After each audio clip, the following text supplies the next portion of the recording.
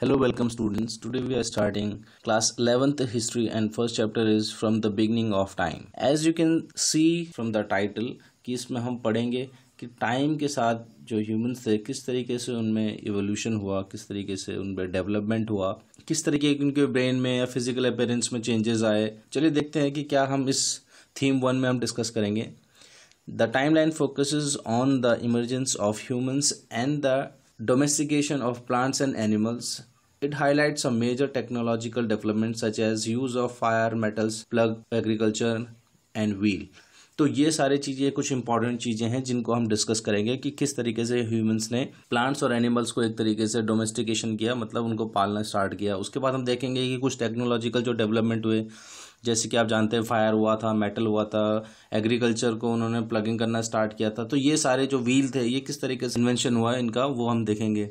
Okay? The processes that are shown include the emergence of cities and the use of writing तो जैसे जैसे evolution हुआ, उस तरीके से आपके पास सिटीज़ में डेवलपमेंट हुआ, ठीक है? राइटिंग का प्रोसेस आया रिकॉर्ड्स बनाने में शुरू किया। तो ये सारी चीज़ें हम लोग डिस्कस करने वाले हैं।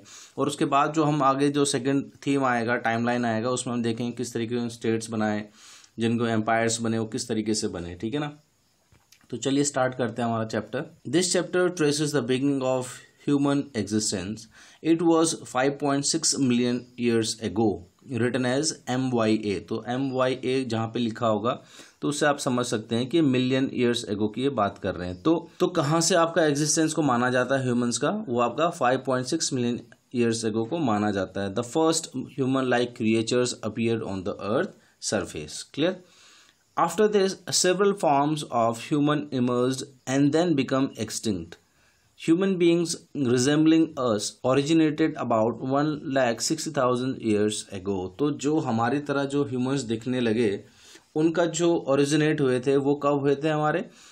One lakh sixty thousand years ago okay अब इसके बीच में क्या हुआ देखेंगे? During this long period of human history people obtain food by either scavenging और hunting animals and gathering plants produce तो यही उनका मेन तरीका था कि वो किस तरीके से अपने फ़ूड को गेन करते थे स्कैवेंजिंग करते थे। ओके जो आप, जो जैसे आप स्कैवेंजिंग का मतलब होता है कि आप जैसे कोई मरे हुए जो जानवर होते हैं, उनमें से आपको मांस निकालते हैं हंटिंग करना और आपका गैदरिंग प्लांट्स मतलब जो भी प्लांट्स के जैसे फ्रूट्स हो गए सीड्स हो गए, इन सबको कलेक्ट करते थे वो लोग।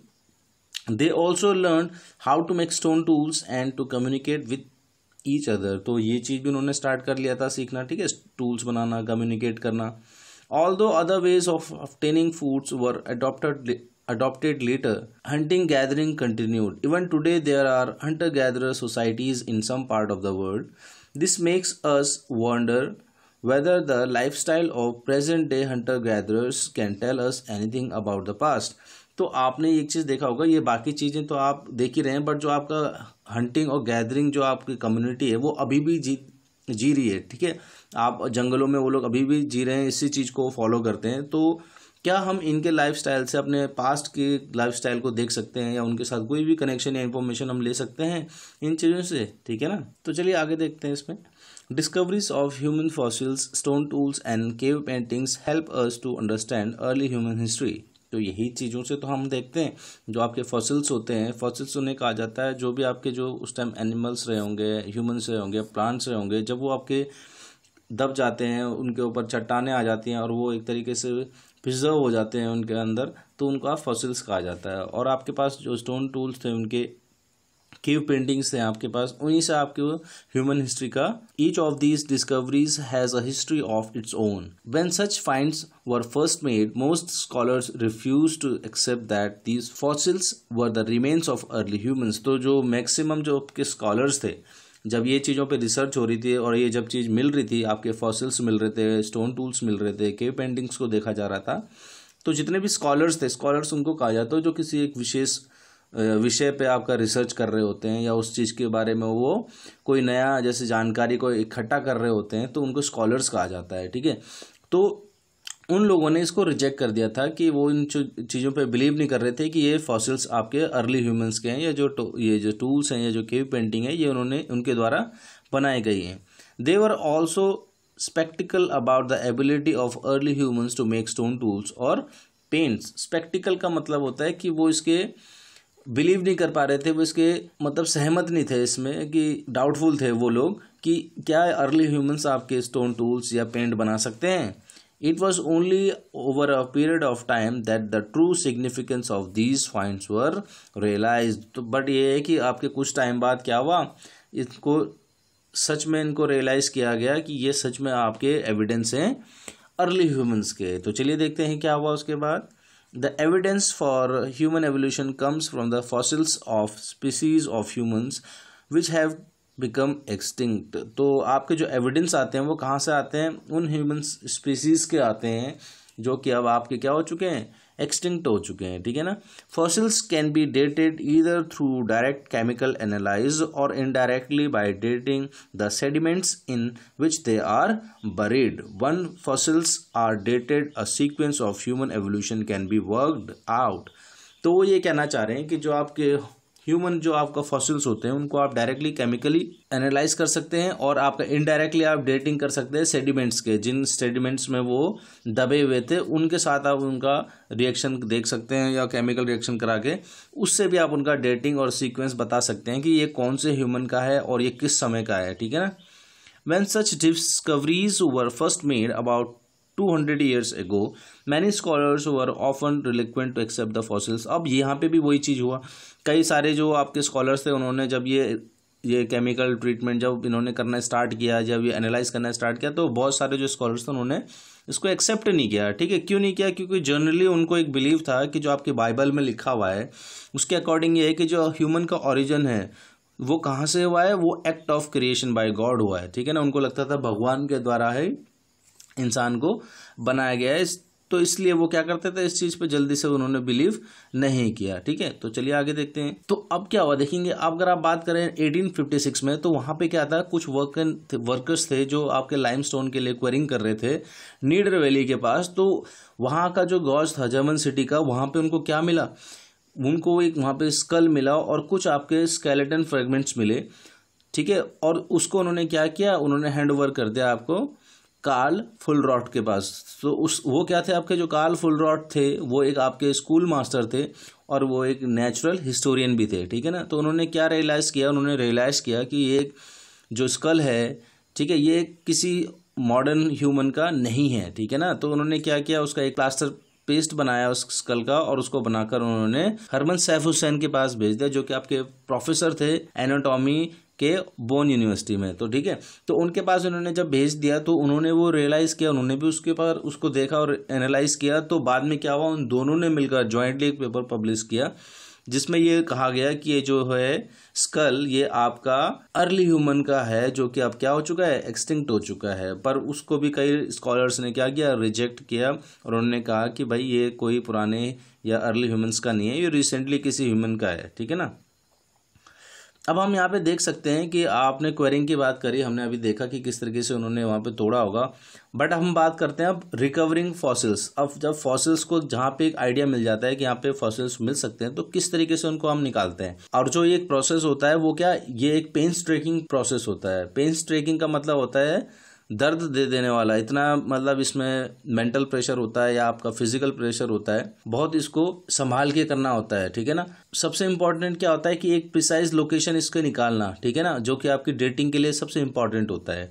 अब उसके लिए क्या होता है, आपके पास कुछ इक्विपमेंट हैं तो आप देख सकते हैं राइट साइड में आपके पास एक ट्रायंगुलर बना हुआ है, जो कि आपका वर्टिकल आपका डेप्थ देखता है, और दूसरी बात, आपके पास लेफ़्ट में स्क्वायर टाइप का या रेक्टेंगल आप कह सकते हैं स्क्वायर ही आप इसे कहेंगे। स्क्वायर टाइप का आपके पास एक इक्विपमेंट है जो कि आपका देखता है कि कितने एरिया में आपको सर्च करना है, कितने एरिया में आप इसको फॉसिल्स को सर्च करेंगे। और राइट साइड में आप देख सकते हैं कि किस तरीके के फॉसिल्स में जो आपके लाइमस्टोन के जो सेडिमेंट्स होते हैं या उनको जो आप लाइमस्टोन जो उसके जो पार्ट्स होते हैं, उसको किस तरीके से सेपरेट किया जाता है और किस तरीके से फॉसिल्स को निकाला जाता है, ठीक है ना? अब आगे देखते हैं हम। अब जब उन्होंने वो पब्लिश करा तो उसके बाद क्या हुआ? देखिए, और भी उसमें रिसर्च चलती रही। अब उसके बाद 24 नवंबर 1859 को क्या हुआ कि जो आपके डार्विन्स थे चार्ल्स डार्विन थे, उन्होंने पहली बुक अपनी पब्लिश करी, जिसका नाम था on the origin of species उन्होंने इसका नाम क्या क्या था?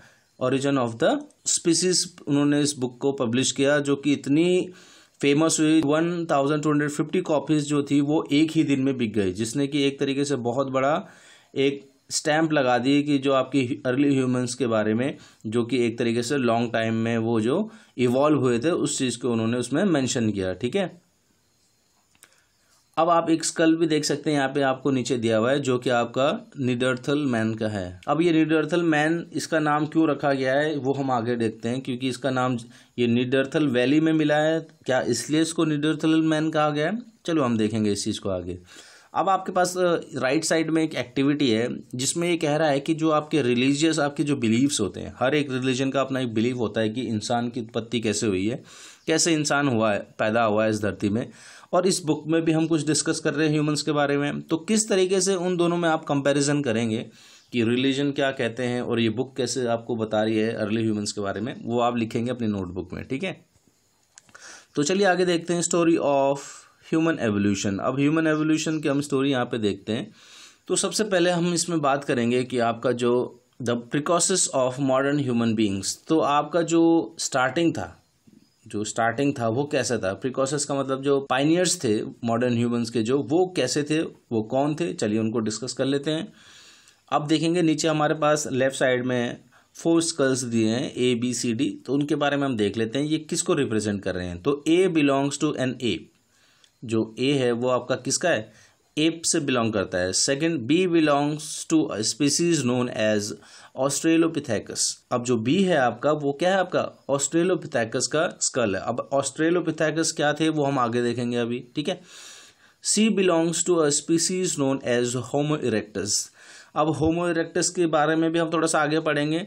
बस आप इसको ये समझ सकते हैं, जो होमो इरेक्टस थे वो अपराइट मैन थे मतलब थोड़ा सा वो उठ के चलने वाले या खड़े होके जो रहते थे, उनको कहा जाता है। और जो डी है आपका D belongs to a species known as Homo sapiens अब ये तो आपने सुना ही होगा, जो कि आपके ऐसे मेंस थे जो सोचते थे, जो वाइस थे और जो कि बहुत इंसानों के प्रेजेंट डे के जो ह्यूमंस थे, उनके बहुत क्लोज उनको माना जाता है, ठीक है ना?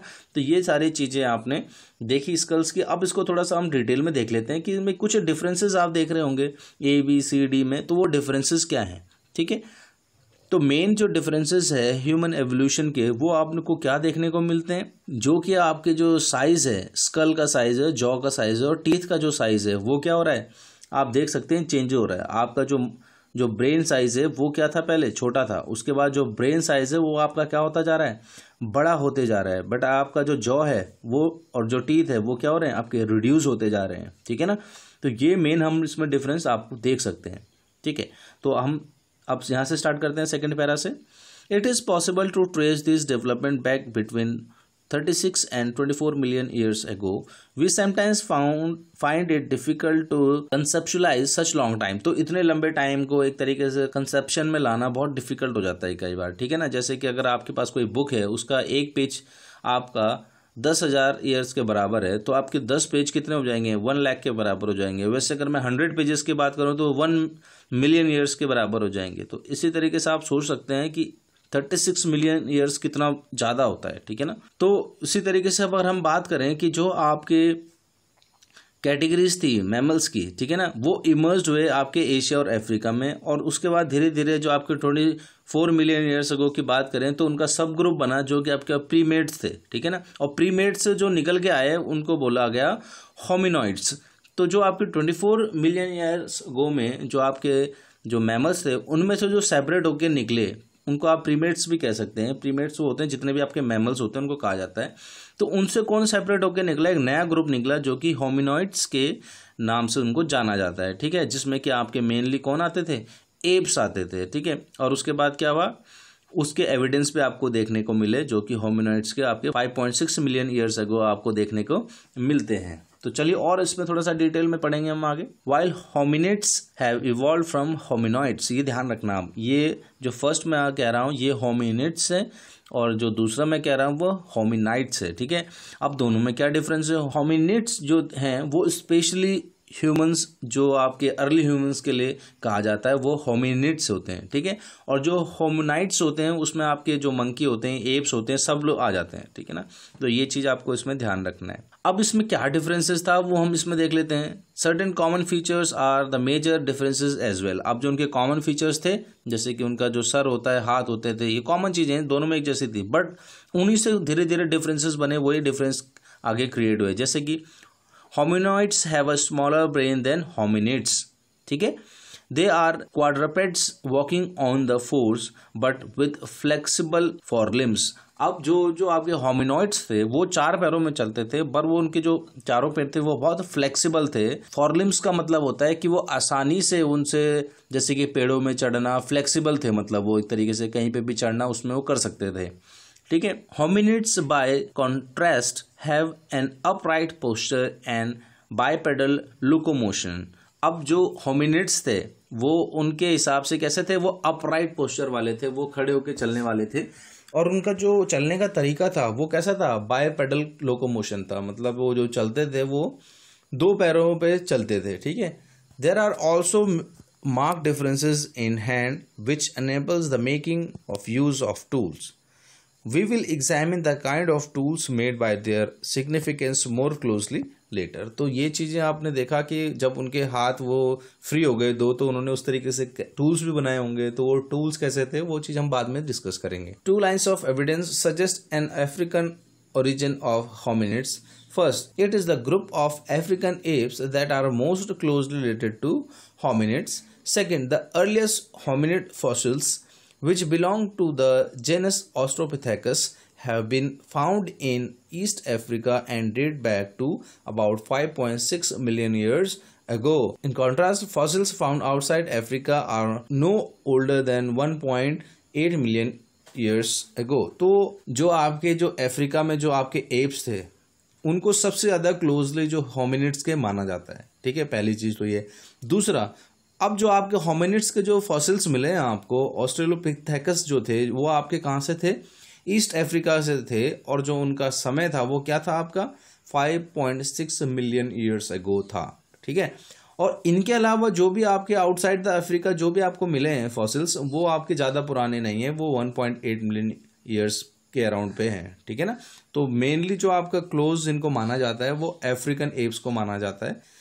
जो कि आपके होमिनिट्स के सबसे ज़्यादा क्लोज थे, ठीक है ना? चलिए, आगे देखते हैं। अब हम बात करेंगे इवोल्यूशन ऑफ़ हैंड अब हैंड का किस तरीके से आपका एवोल्यूशन हुआ? आप सिंपली समझ सकते हैं। आपके पास जो एक एप का हैंड होगा और दूसरी बात, एक जो ह्यूमन का हैंड होगा, जो इवॉल्व हुआ होगा कुछ समय में, वो कितना डिफरेंस होगा? A shows the precision grip of chimpanzee B shows the power grip of the human hand C shows the precision grip of the hominid the development of the power grip probably preceded the precision grip तो अब उसके बाद क्या हुआ कि जो आपका, जो ग्रिप है आपका ए वो क्या दिखाता है आपका? प्रिसीजन का मतलब होता है प्योरिटी दो, जो ग्रिप ऑफ़ प्योरिटी है, आप देख सकते हैं, उससे आप कितने आसानी से वो किसी चीज़ को तोड़ रहे हैं या पकड़ रहे हैं। तो उनका जो पकड़ने का तरीका है चिंपैंसी का, आप वो देख सकते हैं। दूसरी बात, आप बी की बात करें तो वो एक ह्यूमन हैंड है, किस तरीके से उन्होंने उसको पकड़ा हुआ है। और जो आपके होमिनिट्स थे, जो कि आपके क्लोज टू ह्यूमंस थे बहुत उनकी जो प्रिसाइज प्रिसीजन ग्रिप है, वो आप देख सकते हो किस तरीके से उन्होंने पकड़ा है, ठीक है ना? जैसे कि आप पेंसिल या पेन को पकड़ते हैं। तो ये जो डेवलपमेंट हुआ है, ये प्रोबेबली क्या कह रहा है? वो आपका जो जो आपका प्रिसीजन ग्रिप है, वो क्या है एक तरीके से? पावर ग्रिप के उसने आगे आया गया है, क्योंकि जो पहले था, वो पावर का यूज़ किया जाता था हर चीज़ के लिए, चाहे वो हैंटिंग हो, चाहे वो स्टोन मेकिंग हो। और उसके बाद जो आपका काम था, उसके बाद जब वो डेवलपमेंट होते रहे धीरे धीरे तो वो स्मार्ट वर्क उसमें आने लगे तो उससे उनका जो ग्रिप है, जो स्टाइल ऑफ़ ग्रिप है, वो भी चेंज होता चला गया। ठीक है ना? तो इस चीज़ को आप इसमें कंपेयर भी कर सकते हैं, ठीक है? अब हम आगे बढ़ते हैं। Hominids belongs to a family known as hominidae which includes all forms of human beings the distinctive characteristics of hominids include a large brain size upright posture bipedal locomotion and specialisation of hand तो जो main चीज़ें हैं, जो आपकी hominids में देखी जाती हैं, सबसे पहले तो उनका जो ब्रेन साइज़ होता है होमिनिट्स का, वो बड़ा होता है। अपराइट पोस्चर होता है, ठीक है? और जो वो चलते हैं, वो दो पैरों में चलते हैं और वो अपने दो हाथों को जो उनके बचते हैं, क्योंकि दो पैरों में वो चल रहे हैं तो उन हाथों को वो बहुत स्मार्टली उसको वो यूज़ करते हैं। तो ये आपका कैरेक्टरिस्टिक्स हो गए। किसके? आपके होमिनिट्स के, ठीक है ना? आगे चलते हैं। Hominids are further subdivided into branches known as genus of which Australopithecus and Homo are important. तो जो आपके होमिनिड्स थे, अब उनके दो ग्रुप बना दिए गए, जो कि आपके ऑस्ट्रेलोपिथेकस हो गए और दूसरे आपके होमो हो गए, ठीक है? अब इनमें क्या हुआ, क्या डिफरेंसेस थे, वो हम देख लेते हैं। Each of these in include several species the major differences between the Australopithecus and Homo relate the brain size jaw and teeth तो यही तीन चीज़ों का आपको डिफरेंस इनमें देखने को मिलेगा। The former has a smaller brain size heavier jaw and large teeth than the latter तो जो आपके ऑस्ट्रेलोपिथेकस थे उनका जो ब्रेन साइज़ था वो छोटा था जॉ बड़ा था और दांत भी आपके बड़े थे पर जो होमोस थे वो इसके अपोजिट थे। उनका ब्रेन बड़ा था जॉ और टीथ आपके छोटे थे ठीक है ना? Virtually all the names given by the scientist to to species are derived from Latin Greek words. For instance, the name Australopithecus comes from a Latin word Austral. Austral का मतलब होता है आपका southern and a Greek word pithecus means ape तो उन दोनों को मिला के आपको क्या बना दिया गया? Australopithecus the name was given because the earliest form of human still retain many features of an ape तो जो आपके जो ह्यूमन्स थे अर्ली ह्यूमन्स थे, वो इसलिए इनको ये नाम दिया गया क्योंकि उनका अभी भी जो फीचर्स थे, जो मैक्सिमम उनके जो कैरेक्टरिस्टिक थी, वो एप से मिलती थी, ठीक है ना? Such as a relatively small brain size in comparison to Homo large back teeth and limited dexterity of the hands तो आपका जो ऑस्ट्रेलोपिथेकस थे, उनका क्या था आपको? मैंने अभी बताया था जो स्मॉल ब्रेन साइज़ था होमो से अगर आप कंपेयर करें, पर उनके जो दांत थे और जो जौ थी, वो बड़ी थी, कमांड थी हाथ को चलाने की, जो उनकी एक्सपर्टनेस थी, वो बहुत कम थी हाथों को चलाने की, ठीक है? Upright walking was also restricted वो उठकर भी नहीं चलते थे Australopithecus as they still spend a lot of time on trees क्योंकि वो मैक्सिमम टाइम क्या करते थे आपके? ट्रीज में रहते थे, ठीक है? और वहाँ पे आपको दोनों हाथों, दोनों पैरों का या हाथों का आप कह सकते हैं यूज़ करना पड़ेगा, ठीक है? और इनके बारे में थोड़ा सा हम आगे और देखेंगे। पहले आप यहाँ पे एक पिक्चर देख सकते हैं। ये पिक्चर आपको दिखा रही है कि किस तरीके की जगहों पे आपके जो ह्यूमन की जो हिस्ट्री है, उसको ह्यूमन हिस्ट्री के जो आपके फॉसिल्स हैं, उनको रिसर्च किया जाता है, आप देख सकते हैं। ये ऐसे एरियाज़ होते हैं जहाँ पे आपके जो लेयर्स ऑफ़ माउंटेन्स आप देख सकते हैं। उन लेयर्स में ही इनको जो मिलियन ईयर्स में ये बनती हैं, उनको उसी के बीच में सर्च किया जाता है, ठीक है ना? अब हम देखते हैं कि जो आपके ऑस्ट्रेलोपिथेकस थे, उनके बारे में डिस्कवरीज जो थी, वो और थोड़ा सा हम डिटेल में चले जाते हैं, इसमें थोड़ा सा देखते हैं, ठीक है? तो जो डिस्कवरीज ऑफ़ ऑस्ट्रेलियोपिथेकस था, वो आप कहाँ पे पढ़ने वाले हैं हम? ओल्डविया जॉर्ज में पढ़ेंगे। The Olduvai gorge was the first discovered in the early twenty century by a German butterfly collector how Olduvai has come to be identified with Mary and Louis Leakey who work there for over forty years it was Mary Leakey who directed archaeological excavation at Oldavia at Letoli, and she made some of the most exciting discoveries. तो ये दो लोग थे वहाँ पे जिन्होंने ये discovery किया था आपका ऑस्ट्रेलोपिथेकस का। और उन्होंने वहाँ पे फोर्टी ईयर्स तक आपका एक्सक्लेवेशन का काम किया था जो जो कि आर्कोलॉजिस्ट लोग करते हैं। और उन्होंने बहुत सारी वहाँ पे आपकी डिस्कवरीज की थी, ठीक है ना?